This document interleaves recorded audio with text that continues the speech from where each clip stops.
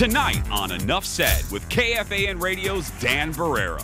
What have you done today to make Adrian Peterson feel a little less uneasy about returning to this market and the Minnesota Vikings? Well, let's just give them what they want. That's what we do. We give them, we all go belly up in the end. We know how to build stadiums. That's practically all we know how to do in sport. We don't know how to win. Attorney and holdingcourtpodcast.com's Ron Rosenbaum. This has been like a continuing painful episode of the Three Stooges. I don't even get it. First of all, I don't know why they put cameras in phones. When I was growing up, growing up it was kind of odd. Phones actually were to talk to, talk to people. people. Yeah. And executive producer Lori Fisher, who's keeping these guys on track and deciding when enough is said. End of story. I think I- Okay, in this enough case, said with usually- that. You know, Ron, uh, it's now official. The commissioner has declared Adrian Peterson, your guy, eligible for My guy. participation in the National Football League. And so I ask you, what have you done today to make Adrian Peterson feel a little less uneasy about returning to this market and the Minnesota Vikings? Well, this has been like a continuing painful episode of the Three Stooges. But the problem is everybody's switching roles. You've got AP who started the game off with a minor problem, taking a switch to his kid. Didn't realize, of course, in the year 2014, that might not be appropriate. Then the Vikings respond, you know, it ain't that big of a deal. They- they fixed well, it. They'll suspend him for one game. Pitchfork Nation comes forward.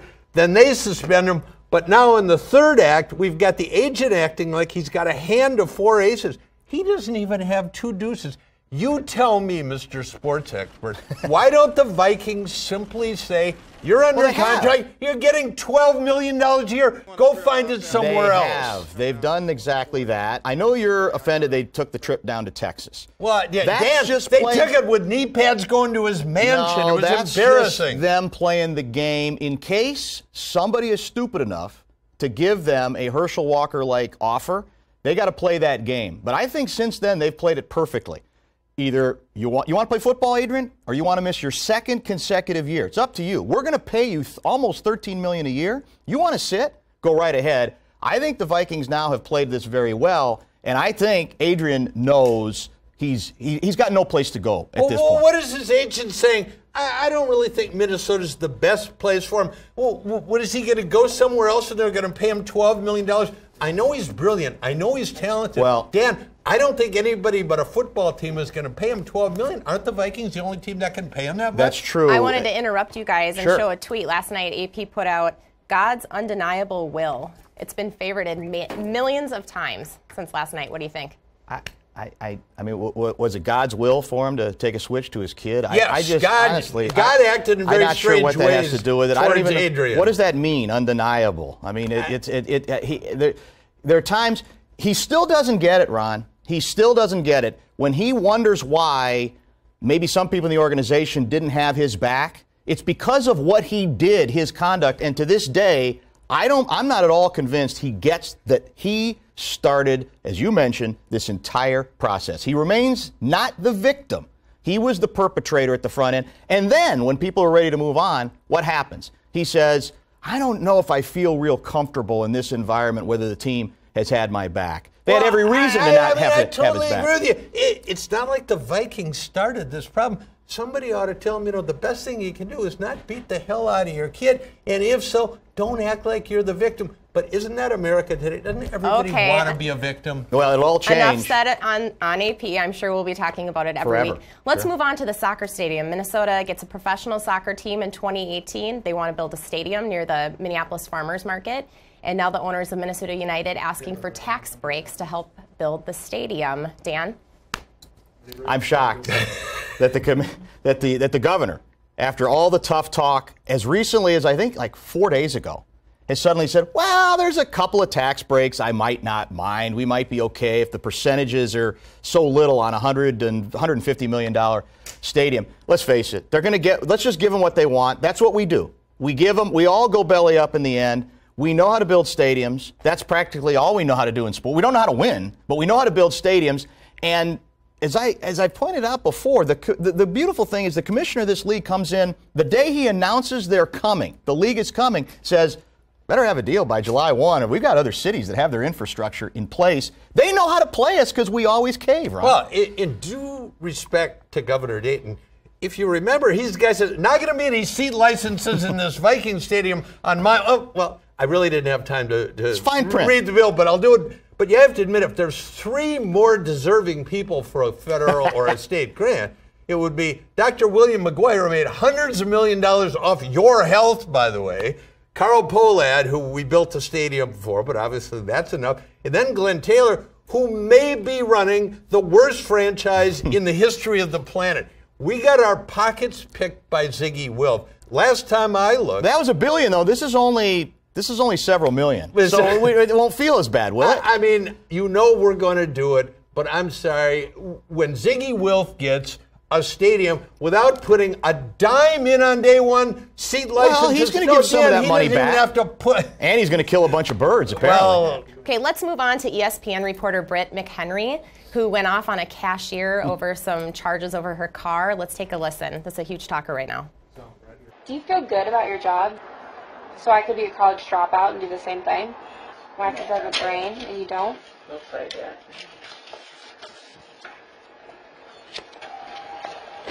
Maybe if I was missing some teeth, they would hire me, huh? Yeah, maybe if you had to touch your roots up a little bit.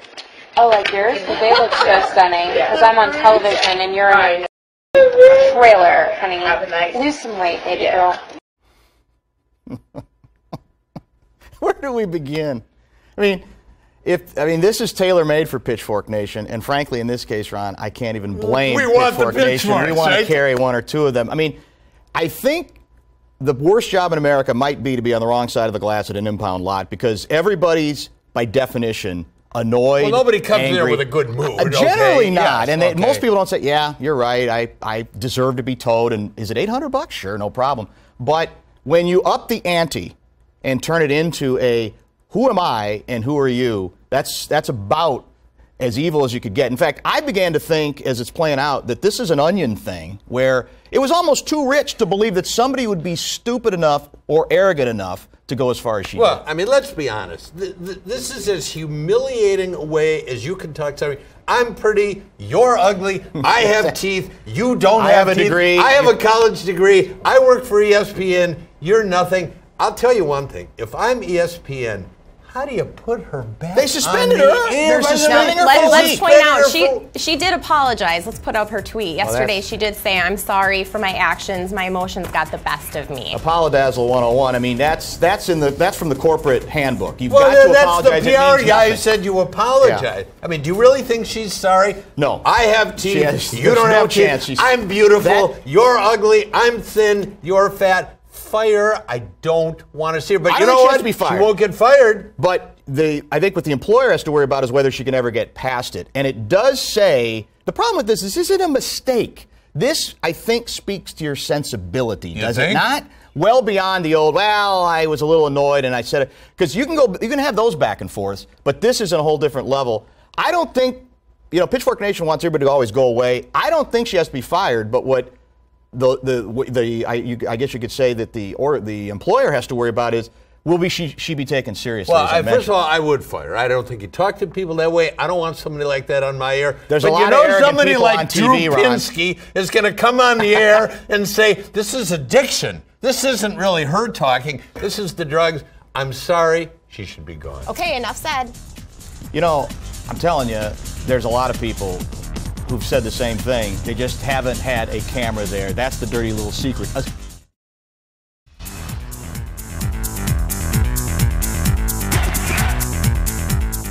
Who is just an innocent child?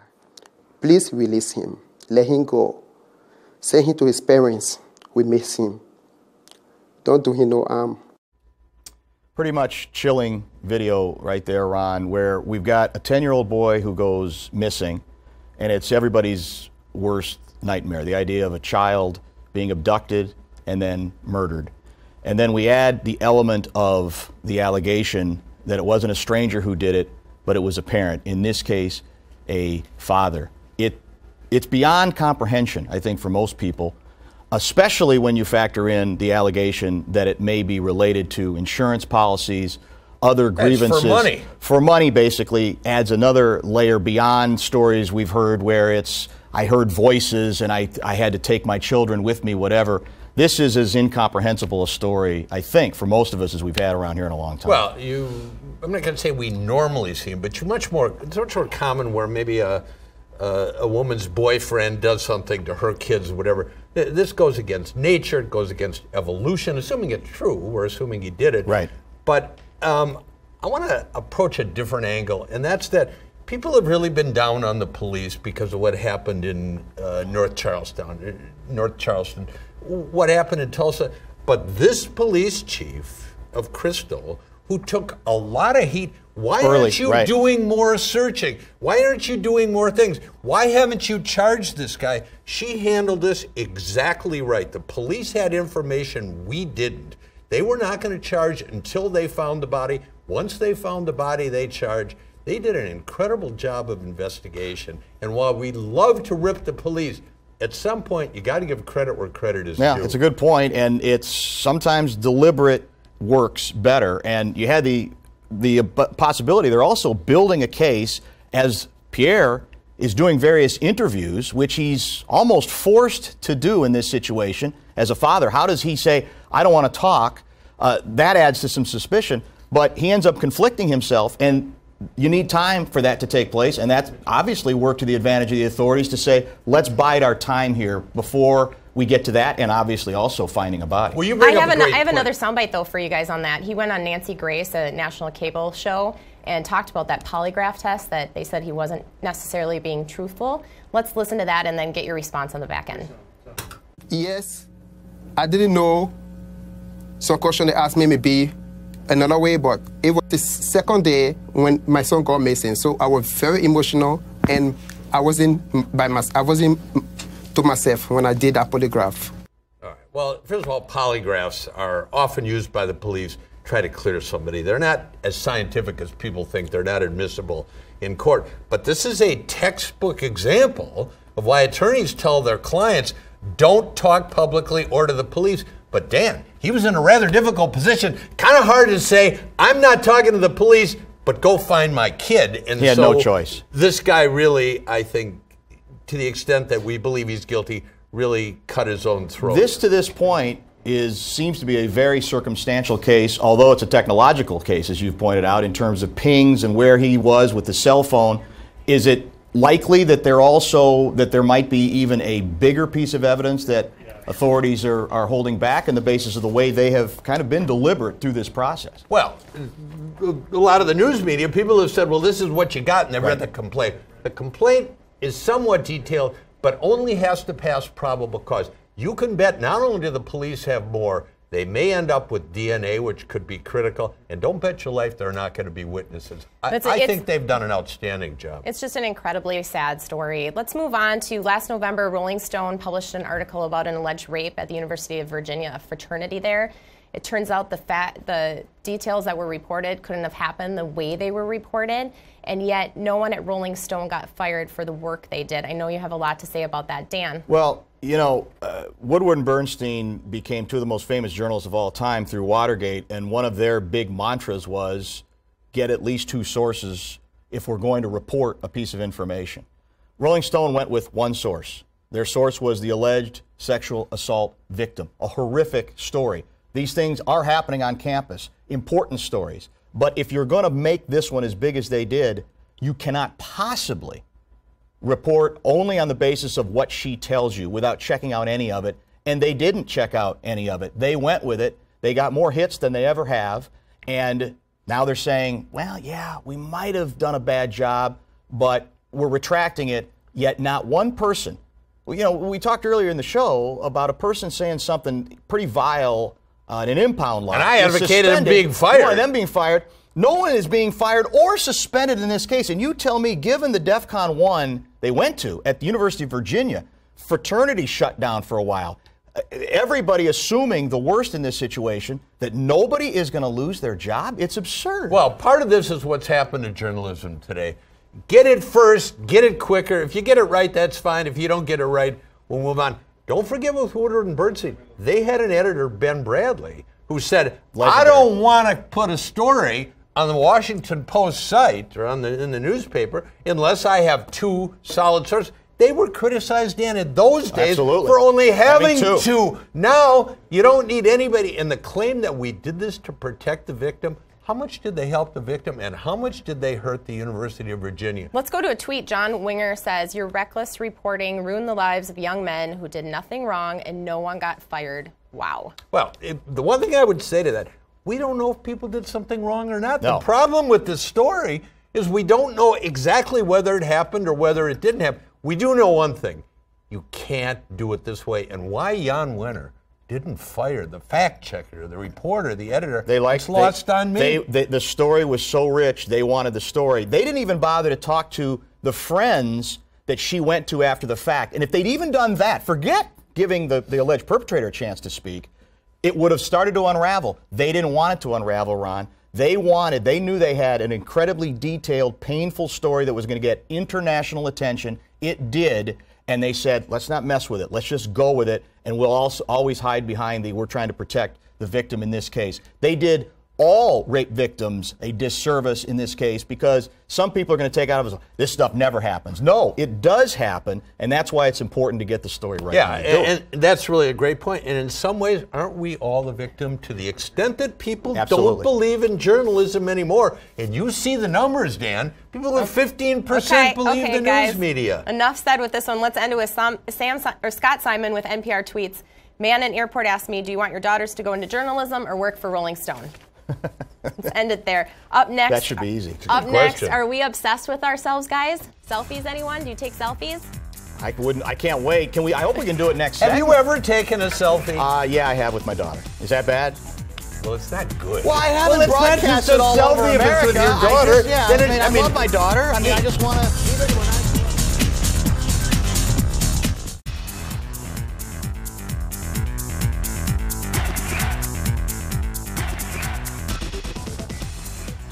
Ron, I hold in my hand here what they tell me is a selfie stick. I don't know how far this extends, but I have a question for you as we talk about that very controversial subject that a lot of people wouldn't touch. When did people become such self absorbed morons where they not only have to go to a place where tragedy has taken place, as did in New York a while ago when a couple of buildings came down because of a natural gas explosion, but they must, in the foreground, pose with big smiles plastered on their faces while they show in the background said destruction. Where, where does that level of self absorption and moronity to make up a word that doesn't exist come from? Well, I, I don't even get it. First of all, I don't know why they put cameras in phones. When I was growing up, growing up it was kind of odd. Phones actually were to talk to, talk to people. people. Yeah, well, I mean that obviously that's That's- that's way. You're- old you're school. old there. But I've seen some of the most bizarre pictures, Dan, where there's like buildings burning, people in danger, and people standing in front with a selfie. I, I mean, it's one thing, you know, and we and listen. It wasn't always pretty when stand-up reporters sometimes stood in No, front of right. scenes to do it, but at least they were doing covering the news. theoretically journalism. Well, I don't get it, but I don't get the whole deal. You saw this thing in Florida. We've got a rape, a, a sexual assault Panama going City, on. right. A zillion people standing around, of course, doing nothing, and, And taping people- it. and taping it, and other people standing, s- taking selfies. I Well, don't get here's it. the here's the good news. The good news is a number. I think some people are starting to get it because a number of big time cultural outlets like the Smithsonian, some art galleries, and the your favorite, the Kentucky Derby, they're claiming they're going to ban selfies. Now, how that's going to go, I don't know. But this happened to me at the All Star game where there's there were some people down below. There was a guy who wanted it wasn't good enough to chronicle the event on his phone, or it had to be on his iPad, Yeah. and he had a selfie stick like this, a little wider. So he's where he blocking your view. So he's blocking everybody's view Yeah. just so he can get a better angle. How about this idea? Just watch the game or g- look at the Mona Well, Lisa's see, that's odd old smile school. and enjoy it rather than you always have to chronicle it with photos and you got to be in them. That's self-absorption Ron, do taken you to the know where last the number step. one place is to take a selfie? Ron? Um, I, I would guess the Eiffel Tower only Yeah. because I've heard this before from Dan Barreiro. There you go, Otherwise, I would have guessed someplace like the, the Coliseum, whatever. I- have you The ever taken a selfie? with my my daughter. That's it. I But- have one for Dan. Who has a book out with 300 selfies of herself out right now? Well, That sounds low, but I'll say the Kardashians. Yeah. Gotta be, but it seems like it'd be Well, now low. I'm that's a shocked that that's no-brainer. low. What, what, it would what seem like it'd be in the thousands What is with now. her obsession with herself? I mean, we're all a little She's a obsessed with billionaire, ourselves. I shouldn't It's even working. have brought it up. I'm sorry. I'm sorry. Let's move on to the lightning round.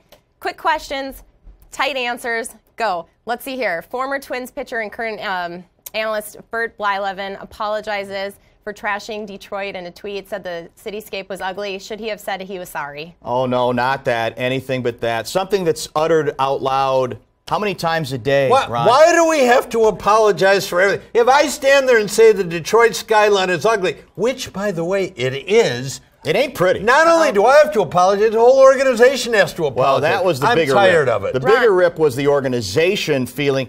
I hope Chan- I hope Nine doesn't ever have to feel like they got to distance themselves from what we say. they may although be that come. apologizing for this Well, there is already. that Ron, possibility. uh, Minnesota native uh, Tyus Jones, one and done. He's going into the NBA draft. Just one year at Duke. Wise decision. Well, I, yeah, I think it is a wise decision. He and Okafor were going to go in together. They can't do more than they've done. Dan, they won the national championship. He was the MVP. He's one of uh, us, too, you know. Pardon me? He's one of us. Yeah, that, well, he's a Minnesota guy. Isn't he from right. Apple Valley? He's close enough. Yeah. But you got to admit, he's a hell of a ball player. He's not going to make that much more money if he waits. So it, it was a, it was a smart move Don't on his think? part. He's mm. yeah, he's ready. Next up, Dan. Hillary Clinton and Florida Senator Marco Rubio both announcing this week they're running for president. Does it just seem election season has just started way too early? Well, first of all, I'm shocked uh, that Hillary's running. Hillary's running? because I had no idea. Everybody Are you ran breaking it as that story breaking now? news, which seems amazing. I think we all suffer from that fatigue, but it's two it's two kinds of fatigue. It's how long the season goes, and it's the familiar faces. It's the two dynasties, the Bush dynasty and the Clinton dynasty. I think there's as much fatigue, at least for me, over that as there is that this thing goes on and on, and cable news outlets they're going to cover it The Bushes, ad nauseum. The Bushes, by the way, have broken the Habsburgs record for continuous. That's our reigning. royalty. Okay, la- last up, Billy Joel, the piano man, being a, he's going to be a daddy a second time. He's 65 years old. Dan. Well, I, I'm not gonna. I mean, I, I, am I supposed to rip them? I had a kid. I mean, I was I'd rip 'em. 56 when uh, when my daughter was born. So. Good for him, I say. Some people think it's selfish to have kids late. I do. Because they say you're not going to be around. Well, first of all, maybe we are going to be around. And secondly, who's to say you can't? Tony Randall had, I think, two or three of them when he was 95. How did that work out? Well, he died shortly thereafter. Well, well on that note, story. that's enough said. Nice work, guys. See that? I mean, that's exactly the not- point. They Why do traditionally people live care? to see when they're teenagers.